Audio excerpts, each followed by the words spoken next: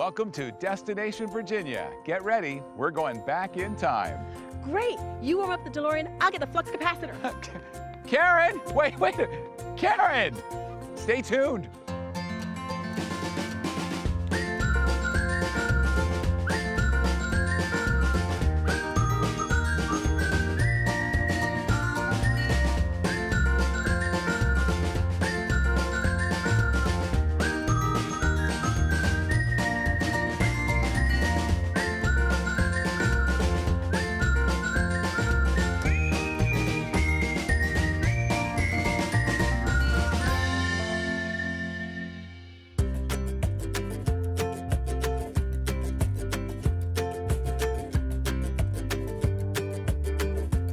Welcome to Destination Virginia. We're here at Jamestown Settlement in historic Williamsburg, Virginia. Hey, isn't that where Pocahontas met John Smith? I think there's a little bit more to it than that. Coming up, we'll visit a traditional Powhatan village and a colonial English settlement. And we'll learn about the tenacity of the women who settled here. Get ready, we're going to walk back in time.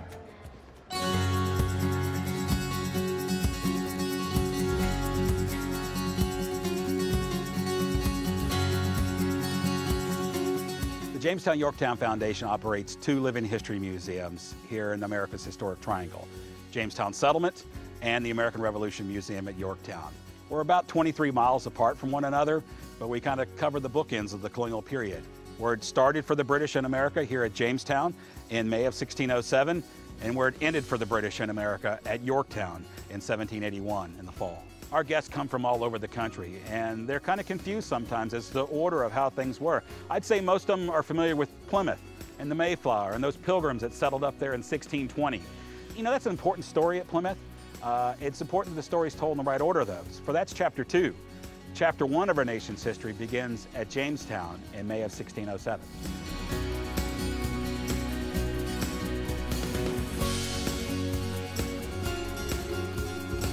We believe in hands-on history.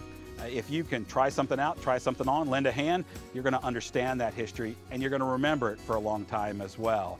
So we have traditional museum galleries with 400-year-old plus artifacts under glass cases, wonderful films, and interactive things inside. But when you step outdoors into our living history environment, whether it's our Powhatan Village, aboard Susan Constant, Godspeed or Discovery, Virginia's founding fleet, or here in the recreated James Fort, we try to bring Virginia's history to life. You're going to experience the sights, the sounds, and the smells of the 17th century. You'll hear the hammers clanging away from the blacksmith. You'll hear muskets firing periodically here in the fort. You'll hear artillery firing on the ships from time to time. We clean out the chicken coops, so you'll get those smells. You might be helping us collect eggs that day. You know, you might be helping us mix ingredients because we're cooking 17th century recipes that day. You might be helping to plant seeds and turn the soil over for the crops that we're going to be planting or perhaps we're harvesting. There's an array of stuff to be done and we like to get people involved and right in the middle of it with us. All the 400 year old stuff is inside, protected. So out here, you can touch and handle things just about all you want. We keep charge of the sharp things so no one gets themselves injured. But it's a fun way to learn history. I like to call these our outdoor classrooms here. We don't have computers, we don't have textbooks, but we have things from the 17th century that really, really work. And we like folks to get out here and explore and try things out. No matter how you like to learn history, whether you like to look at artifacts behind glass, or whether you like to come out into a living history environment and try things out and try things on, we've got that here for you. So come to Jamestown Settlement and soak up some history.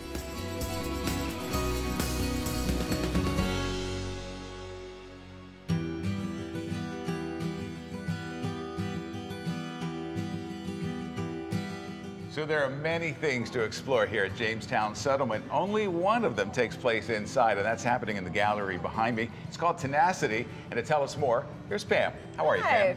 Pam? Very well. Thank you so much for coming today. Tenacity is the story of women in Jamestown and early Virginia. Most people who think about Jamestown think about people like John Smith, um, the men of Jamestown. Yes. But this exhibit takes a different look, and we feature a number of women that we've researched through time to tell the story of Jamestown from a different perspective. One of the pieces that we feature in the exhibit is a ducking chair. Oh, that's the thing you're going to show how it works. How long is she going to go wanting on? to You're, duck me you're for a gonna, while you're gonna try that, eh? How long will she be under? I just want to start thinking. well, are you uh, a Good. brabbler? A A what? A brabbler. She could be.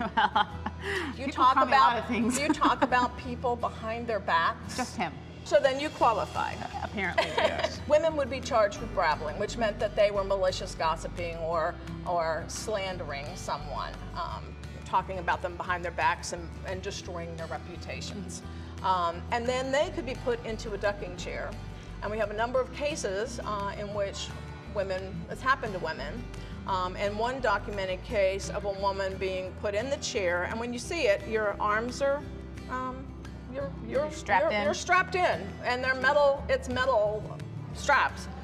Um, and then they would duck you in the water for 30 seconds, bring you back up, do it again, bring you back up. And we have one one case where you know, the woman was ducked five times. So, you know, that's um, But it wasn't like a- humiliating, it but it's death real. thing. It wasn't a death Okay. thing, but um, it was pretty Wow. pretty horrendous. Pam, thank you so much for spending time with us. Absolutely, it's a pleasure. Wow, there is so much to see and learn about inside this beautiful museum, and there's even more on the outside. When we come back, we'll visit the Living History Museum at Jamestown Settlement. Stay tuned.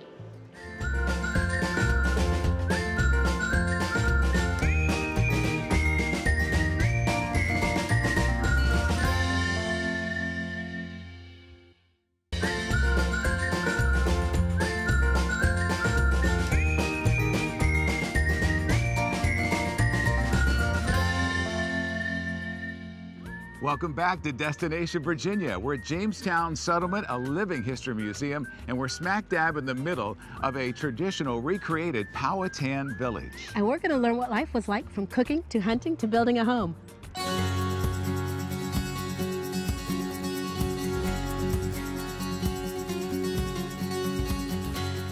So here at Jamestown Settlement, when you first leave behind our indoor museum galleries and come into our recreated living history areas, your first stop along the way is with our Powhatan Indian Village, where you learn about the Powhatan people. And here this morning is Martin, who's uh, waiting on us and going to introduce you to our Powhatan Indian Village. Come on in. Fantastic. Thanks, Howard. Thank you. What are we looking at here specifically? Our museum is recreating how Powhatan people are living at the point of English arrival. Between the cooking, the tools, the clothing, the paint, the tattooing, that's all how they describe Powhatan people looking 400 years ago. And so what we've got cooking today are a couple different things. We've got a turkey that we butchered out here on site, cooking over the spit. Yeah. He's, he's the slowest turkey, obviously. Well, yeah, he was. and then in the pot there, we've got uh, venison. We have hominy, which is a way of prepping corn. We've also got dried cherries and blueberries. You can use that scoop to pick up a little bit of it and see what this- it looks like. we okay. go. It's a little smoky. Look at Yeah, that. it is a little smoky. It's something you get used to out You here. can tell it's the, I can see the hominy in there, and is that rice? Yeah, wild rice that would be in the rivers here. Now, if you were looking for something that's going to have a little bit of sweetness to it, the English talk about dainties that are made with cornbread or cornmeal that has fruit mixed into them. Is that is that Yeah, those? these here. Ah. So these ones are cooked right on the hot stones, but that isn't the only way in which they can be made. Sometimes they're made in dumplings, they're rolled into balls and put into the soups, or they make them even like tamales, wrapping them in corn husks and then boiling them. Oh, so is that what he's That's what he's mixing doing. Do you want to? Do you want to make one? I would love to make All one. yeah, Russell. Be the you holder hand. What do I do with this? Well, you can hand it to me. That's a loaded question. All right. Safety first. So how much? Just just dig Really, just a palm-sized piece is what you're after. So, just kind of like that, or Yep. any shape in particular? pretty commonly, just gonna roll it into sort of little patty or cookie Okay. shape you might think of. And I have a packet of soy right there. sauce. if you need it. Make a soy sauce. Now watch it. Those stones are going to be Okay. hot. So I just kind of drop it. Yep, you're just going to Drop it like it it's on Yep. Wow. You can see as they spend a little bit of time next to the fire, you may twist them around, or you may actually gather the coals simply around the base. And so the Oh. English accounts mention the women preparing uh, corn into a bread or pieces like this very neatly on flat stones in and around the fire to bake.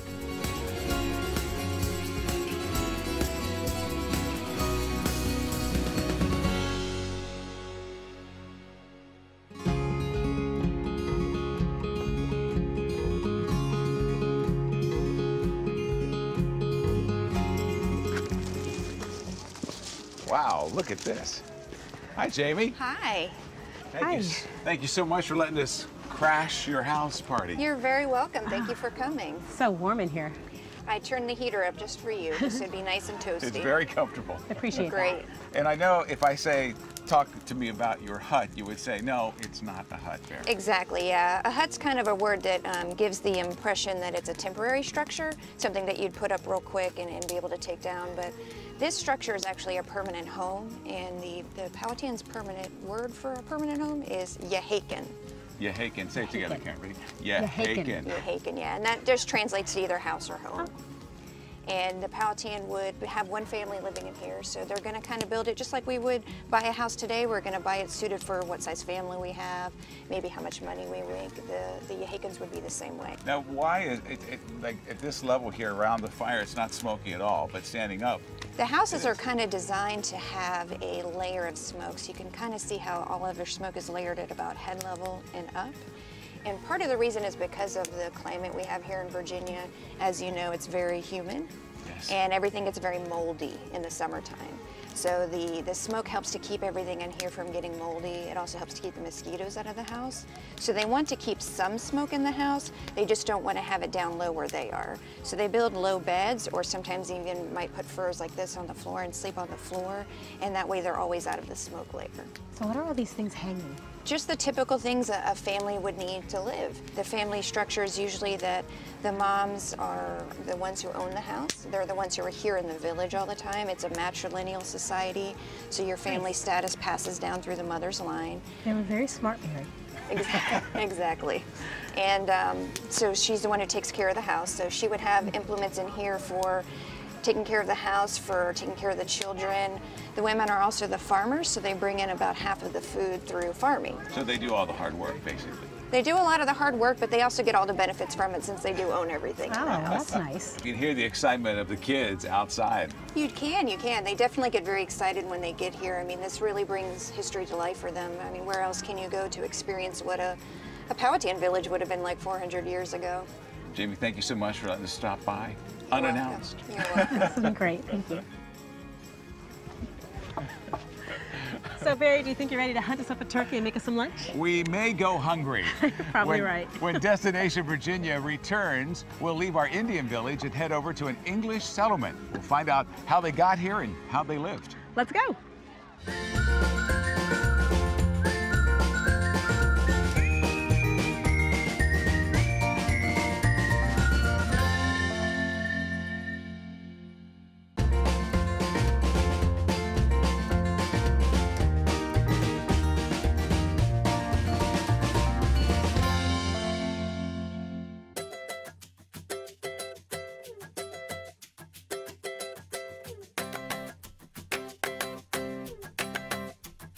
Our next stop, uh, after you leave our Powhatan Village and our living history sites, is here at Virginia's founding fleet. You're on board Discovery right now, and this is one of our sailors, Don, here today to tell you a little bit about uh, this journey to Virginia in 1607.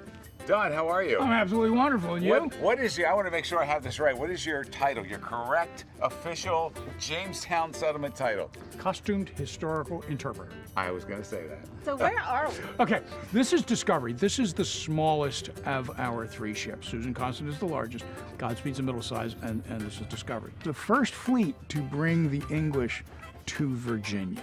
John Smith and all of those guys are in this fleet, arriving here in May of 1607. So are these actual size?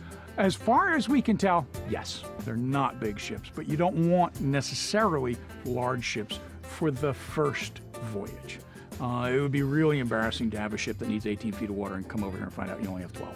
I don't see a lot of technology on board here. How do you know where you're going? This is the latest and greatest in maritime technology for 1607. And we're going to use a compass. Now, this is a mariner's compass. Uh, it's also called a box compass because, well, it's a box uh, for protection and to put these gimbals, these brass rings. Compass reads best if it's parallel to the surface. Ships are not always, very rarely, parallel. They move. So when the ship moves, the compass remains. So we've got a, a device called a chip log that's used to figure out speed.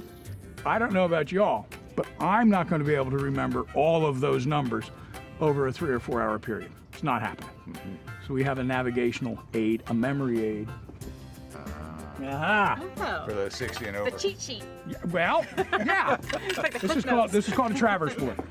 Now, that is the compass rose, same as that. Okay. Okay, eight holes in each compass point.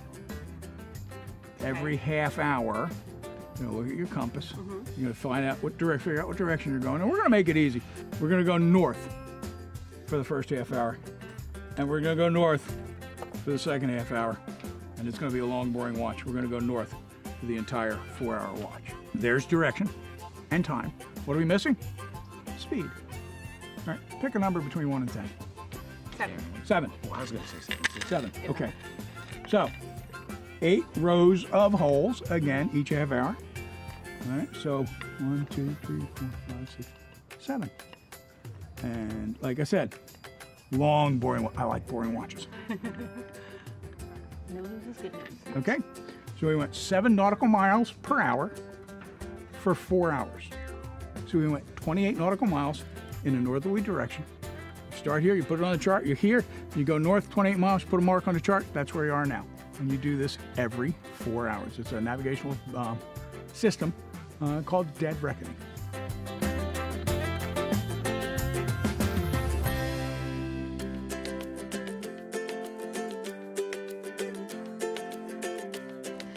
Have been smelling these wonderful smells, and I'm so excited to know this is where they're coming from. It is. We are making a 17th century pork sausage recipe um, from a book that was written by a guy back in the latest part of the 16th century. Here, by the way, is, uh, is one of our little cookbooks, basically. The first part, we're taking pieces of pork, we're slicing them up. Most people don't have something like this, almost Oh, like wow. a cleaver. Yeah. This is my mincing knife. I've been using this one to cut the meat fairly fine and get some pork uh, leaf fat in there. This is the one that's really the fun part, uh, where you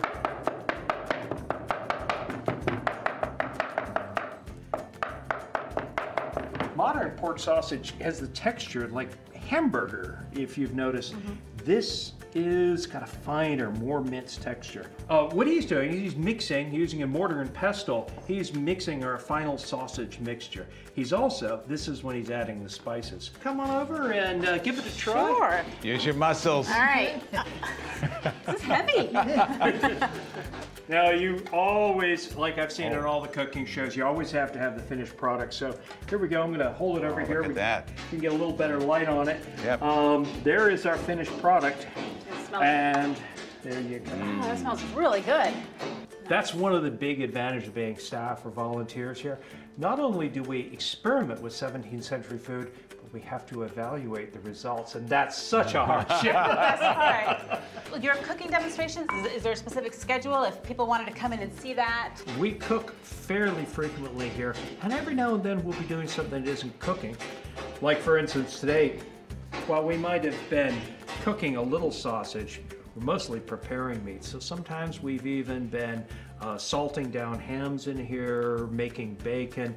We even sometimes do a special uh, educational program in which kids come in and we teach them how to make a thing called a corn cake. It's not very exciting, unless you're a kid and you're cooking corn batter cakes in hot lard yourself that you made yourself.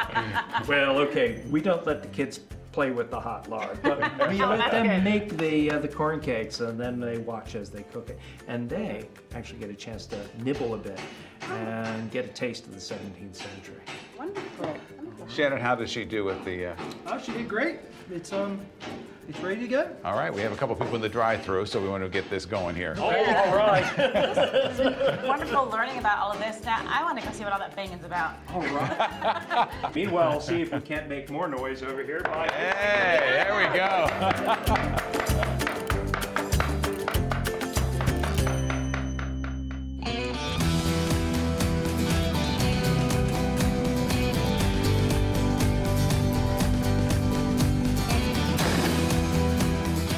Now, for our demonstrations today, rather than carrying powder in the chargers and priming flasks as they would have done, we're now using paper cartridges. Same measured amount of gunpowder, just a little bit different container. Loading process. It's going to work the same way with a little bit of powder in the pan. rest of the powder down the barrel.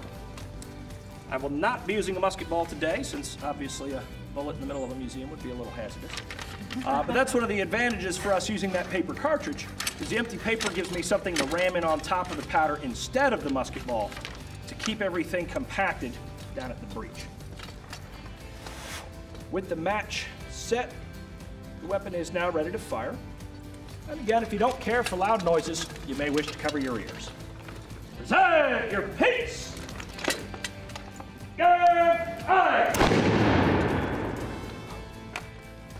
So we talked about experiencing the sights, the sounds, and the smells of the 17th century here at Jamestown Settlement. Perfect way to do that here with Brian and his musket and all of his gear. So you're in good hands. Come up close, see what he's doing. Great. Good afternoon. You know you're on fire. Yes, in fact. Okay, I just want to get that out of the way. Yeah, with the matchlock musket, which is going to be the, the weapon that the, the colonists primarily rely on for security here, uh, without that burning cord, there really isn't any way to set the weapon off. And just about every firearm invented after the matchlock creates its own fire. This weapon does not, so colonists on guard duty or in combat will be carrying that burning rope. How long will that rope last? Both ends lit will burn about a foot an hour. Um, so this one we're coming to the end of, but you might start with as much as six feet of it, um, so that you've got some time to work with. Okay. How heavy is that? Uh, this weapon's about 14 pounds. They range quite a bit in the time period. If you'd like, let's check it out. Just bear in Go mind, ahead. this lever Oh, here is the musket ball. trigger, so uh, avoid pulling that. Okay. And right under there, and we'll just keep it pointed in that direction. Very And don't kinda- point, don't point at me, please. Oh my gosh, that is kind of, so. See? Takes so, a little getting used to So where would to. you like this goes up against my Right, and you want to move your hand forward until your thumb is in the groove there. Oh, there you that's go. natural. Uh, it takes a little getting used to. Once you're used to it, it it's actually a surprisingly comfortable weapon to fire. Surprisingly comfortable. Just like a mattress. Do you see Well, my bear, arm shaking? bear in mind, you know, if y- you don't feel comfortable with it yet, your sergeant will make sure you get used to it. And I have a month. That's right. Yeah. So Typic- typically, they figured a few weeks to a month is going to be uh, sufficient to make just about anybody I proficient. have to work up your muscles just to hold this. certainly, certainly, yeah, that would be a part of it. And the so, fort has been so you're overtaken. scared, you're being attacked, and you're holding this massive thing. Now, Wow. bear in mind That's with not even, a uh, and no bullet. bear in mind with a projectile this large, if you had a lighter firearm, it's going to kick really hard. Oh. It's that So that first one rule of physics, right? For every action, equal and opposite reaction. Uh, so uh, the heavier weapon is is not going to uh, not going to kick as hard. Uh, now talking about weight, of course, you're looking at you know everything a soldier has to carry throughout history. Soldiers have had to carry a lot of stuff. The soldiers here at Jamestown, of course, armor is going to be a very important component, and we've got armor around the fort just for trying on. If you'd like to give it a try. Well, I want to go see you in helmet. Okay, Shall? I'm ready. That's good. Thank you, you Brian. very much. Sure thing. It's my pleasure. All right. Thanks for coming out to see us today.